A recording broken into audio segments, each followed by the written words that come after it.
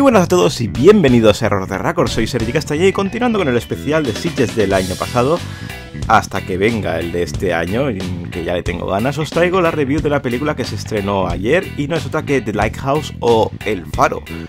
Película dirigida por Robert Eggers, director de La Bruja y protagonizada por dos grandes actores como son Willem Dafoe y en menor medida Robert Pattinson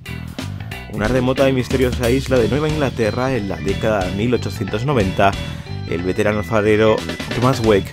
y su joven ayudante Ephraim Wilson deberán convivir durante cuatro semanas. Su objetivo será la de mantener el faro en buenas condiciones hasta que llegue el relevo que les permita volver a la Tierra, pero las cosas se complican cuando surjan conflictos por jerarquías de poder entre ambos caballeros. El Festival de Sitges del año pasado tenía películas con mucho hype detrás, pero desde luego ninguna como El Faro, ya que a mucha gente les encantó La Bruja en anteriores ediciones, salvo a la audiencia de este canal, que esa review la verdad está llena de trolls cagándose en mi gusto por la peli, y cuando se hablaba de que esta película tenía influencias Lovecraftianas, la gente enloqueció y se agudaron las entradas y todo el festival se veían carteles de se compra entradas para el faro. Pero desde el día de ayer podemos quitarnos ese ansia yendo al cine y espero de verdad que nadie haya pagado una barbaridad por una película que, bueno, se ha estrenado cuatro meses después, pero se ha estrenado. Lo mejor del faro es que Eggers pone toda la carne en el asador en lo que a imagen se refiere tenemos una película que es un auténtico portento a nivel pictórico, rodada en un blanco y negro con un contraste bastante elevado y en un formato 4 tercios totalmente cuadrado como en las teles antiguas para dar una sensación de película realizada en la Alemania expresionista de antaño.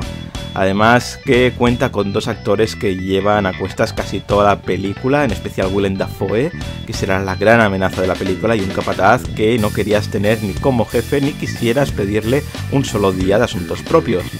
Además aquí Eggers vuelve a conseguir ese ambiente malsano y asfixiante que consiguió en La Bruja subiéndolo de nivel y en algún momento esa asfixia que experimenta el personaje de Pattinson traspasa la pantalla. Lo malo pues es la verdad es que sobre todo por su narrativa, porque si en La Bruja Eggers sacó a muchos de la sala a ser una película especialmente reposada, aquí al ser únicamente dos actores en un faro recuerda mucho a Cold Skin, pero esta quizás eh, sea más compleja narrativamente porque los flashbacks, las ensoñaciones y los momentos de locura eh, de ambos van a hacer que nos perdamos el hilo en muchos casos y que al menos en mi caso, en varios momentos de la película, nos haya hecho desconectar de la misma. También eh, viene muy inflada por parte de los críticos al proclamarla como una obra de arte y bueno, me alegro por ellos, pero para mí ni es una joya, eh, pero tampoco es que sea una mierda como los haters que vienen diciendo detrás de ella. En definitiva, que para mí es un experimento de cómo se puede volver al expresionismo alemán en la actualidad, aunque también eh, se pasa de rosca en momentos de locura y que puede provocar que más de uno desconecte. Así que vamos con las valoraciones. En IMDb ha conseguido un 7,9, en Metacritic ha conseguido un 8,5 y en Error de Record vamos a darle un 7 porque a mí me ha dejado muy anonadado a nivel visual, pero la verdad es que lo que es historia personalmente me parece que falla bastante y quizás le hubiese recortado bastante metraje porque son dos horas ahí espesitas que de todas maneras creo que habrá muchos que le pondrán una nota todavía más baja por su narrativa, pero a mí pues como ya he dicho no me parece ni tan mala ni tampoco tan buena. Recordad que las valoraciones son personales y que si tenéis la vuestra podéis dejarla aquí abajo en la caja de comentarios. Y nada más por hoy, suscribiros y darle like que hay mucho subir contenido a este canal y nos vemos en el próximo vídeo con mucho más cine.